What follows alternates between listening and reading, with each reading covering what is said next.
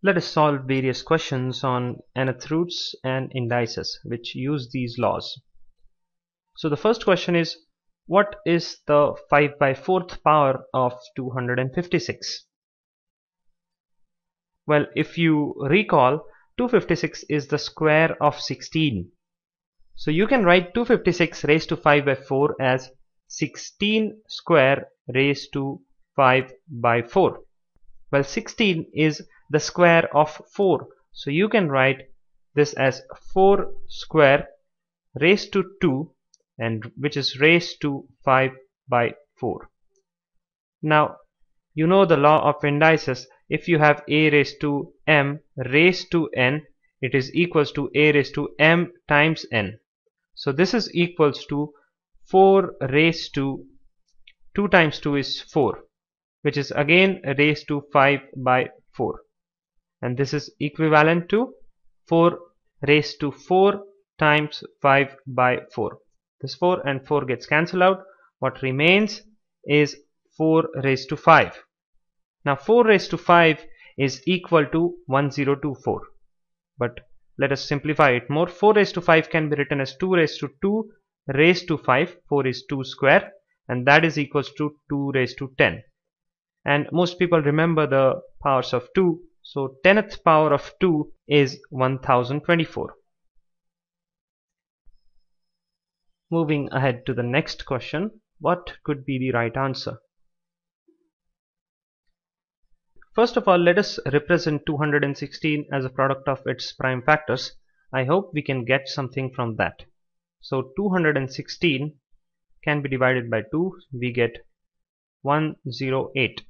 So 2 times 5 is 10 2 times 4 is 8 2 times 27 is 54 then now we cannot divide by 2 we will divide it by 3 so 3 times 9 is 27 and 3 times 3 is 9 so 216 is equal to 2 cube 1 2 3 2's times 3 cube.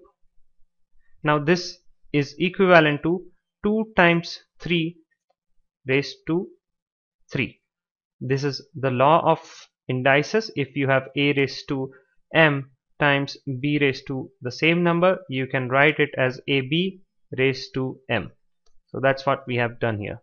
So this is equivalent to 6 cube.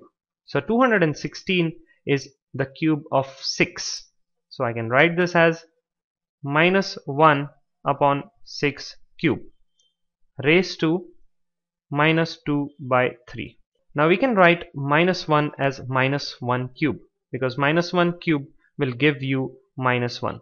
So this is minus 1 cube upon 6 cube raised to minus 2 by 3.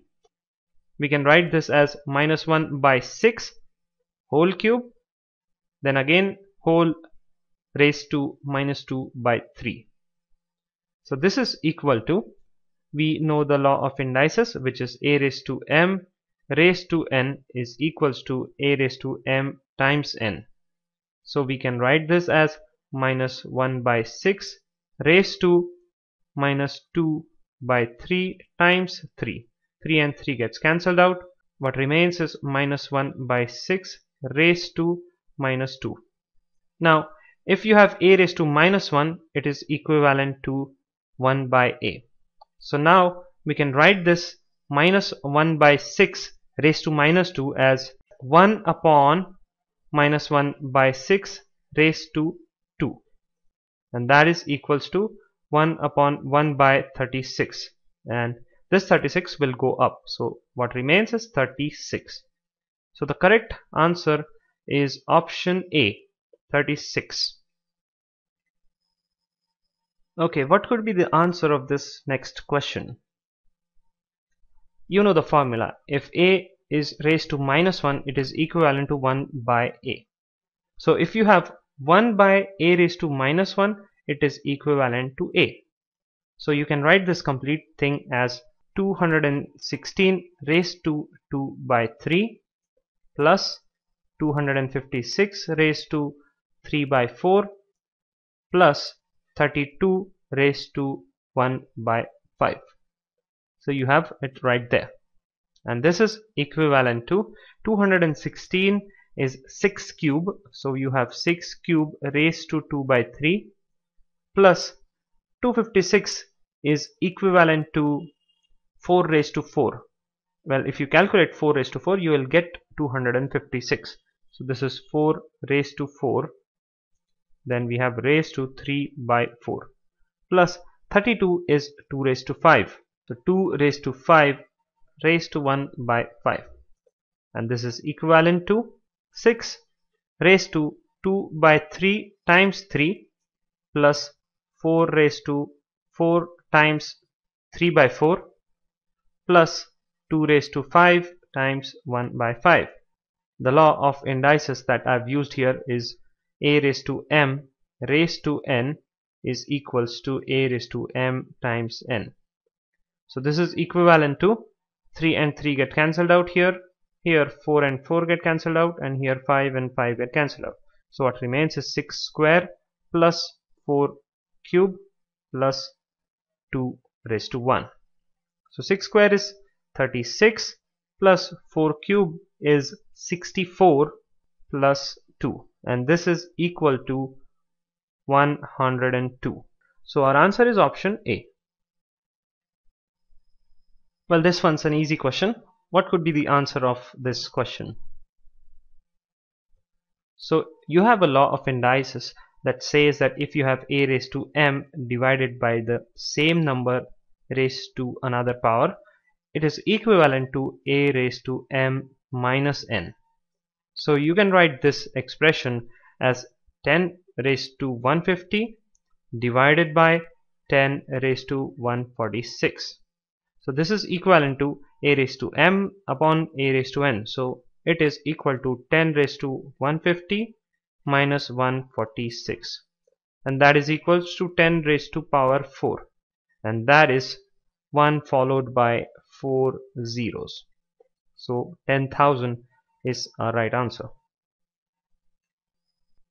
This one is also easy. This is the final question. What could be the answer well you can always use this formula a raised to m upon a raised to n is equal to a raised to m minus n. So you have 1000 raised to 7 upon 10 raised to 18 but you cannot directly use this formula because this number a should be same in the numerator and denominator. But we have 1000 in the numerator and 10 in the denominator. Well we can convert this 1000 is 10 cube. So this is equal to 10 raised to 3 raised to 7 upon 10 raised to 18 now there is another formula. A raised to m raised to n is equals to a raised to m times n. So this is equal to 10 raised to 3 times 7 which is 21 upon 10 raised to 18 now you can use this formula and get the answer so this is equivalent to 10 raised to 21 minus 18 and that is equal to 10 raised to 3 so 1000 is the right answer.